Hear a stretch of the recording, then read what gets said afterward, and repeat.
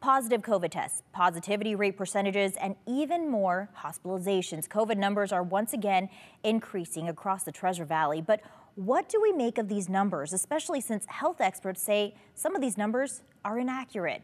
And that's because of at-home COVID tests are rarely reported. News Channel 7's Andrew Baertlein checked in with Dr. Ted Epperly at Full Circle Health. Andrew, is he concerned about the numbers? He is, and it's because of what the numbers don't show. Dr. Epperly says several data points are lining up, and you match that with some relaxed attitudes on the spread of the virus.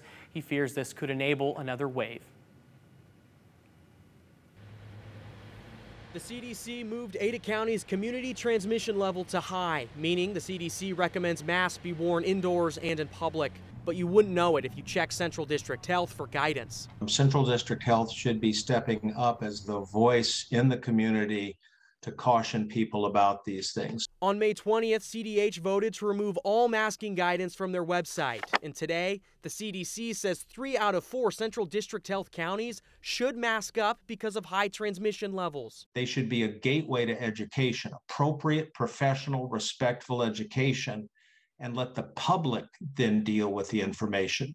But they shouldn't choke it off before it gets to the public's awareness. Former CDH physician board member Dr. Ted Epperly is concerned with the lack of local guidance. That's because COVID cases are rising along with testing positivity rates and hospitalizations. But with the increasing popularity of at home tests, Dr. Epperly says our ability to track transmission is hindered, and reality is likely worse than what's documented. It's the floor, not the ceiling uh, it's still a data point that should be paid attention to. But Dr. Epperly is most interested in the wastewater data. City of Boise numbers also show a consistent upward trend since the beginning of May. I'm worried. I'm nervous about the fact that uh, we're sitting on top of a potential sixth surge. Idaho Department of Health and Welfare numbers show 55% of eligible Idahoans are fully vaccinated. That's below the national average of 71%.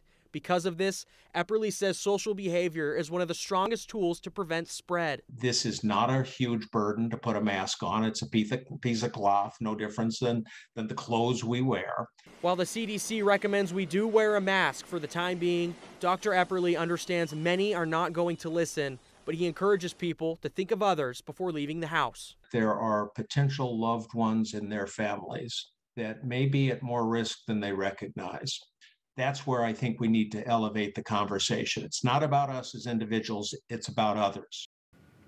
While Central District Health is not offering any guidance on masking specifically, they do want people to be thoughtful about how they celebrate this upcoming holiday weekend.